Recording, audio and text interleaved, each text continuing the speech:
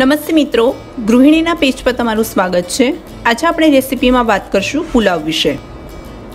મિત્રો, ભાત એ આપણા ઘરે રોજ બનતી વસ્તુ છે. ભાતમાંથી ઘણી બધી અલગ અલગ વાનગીઓ બને છે. એમાંથી એક છે પુલાવ. આપણે રેસ્ટોરન્ટમાં જમવા જઈએ ત્યારે પુલાવ ઓર્ડર કરીએ છીએ. ઘરે કોઈ મહેમાન આવ્યું કે પાર્ટી હોય, આપણે પુલાવ તો બનાવીએ જ છીએ. પણ ઘરે બહાર જેવો સ્વાદિષ્ટ પુલાવ બનાવવાની પણ એક ચોક્કસ રીત હોય છે. હું બહાર જેવો સ્વાદિષ્ટ પુલાવ બનાવવાની રીત બતાવી રહી છું.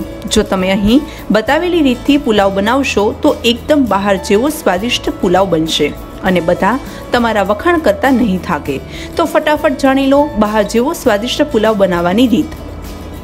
પુલાવ બનાવવામાં તૈયારીનો સમય લાગશે વીસથી ત્રીસ મિનિટ જેટલો અને તેને બનાવવા માટે સમય લાગશે ત્રીસ મિનિટ જેટલો, એટલે કે અડધી કલાક જેટલો.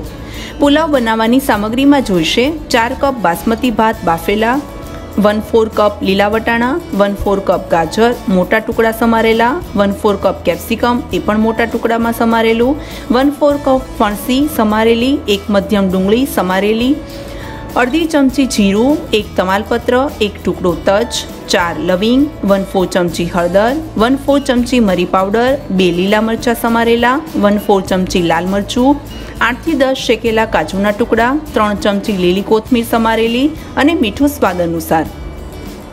વેજીટેબલ પુલાવ બનાવવા માટે એક કડાઈમાં તેલ ગરમ કરી તેમાં જીરું, તમાલપત્ર, લવિંગ અને તજ ઉમેરો અને અડધી મિનિટ સુધી સાંતળો. હવે તેમાં ડુંગળી ઉમેરો અને બેથી ત્રણ મિનિટ સુધી સાંતળો. પછી તેમાં હળદર, ફણસી, ગાજર, વટાણા અને મીઠું મિક્સ કરો અને તેને પાંચથી સાત મિનિટ સુધી ચડવા દો. બધું બરાબર શેકાઈ જાય એટલે તેમાં કેપ્સિકમ, લાલ મરચું, મરી પાવડર ઉમેરો અને એક મિનિટ સુધી સાંતળો. હવે તેમાં બાફેલા ભાત ઉમેરો અને બધું બરાબર મિક્સ કરો.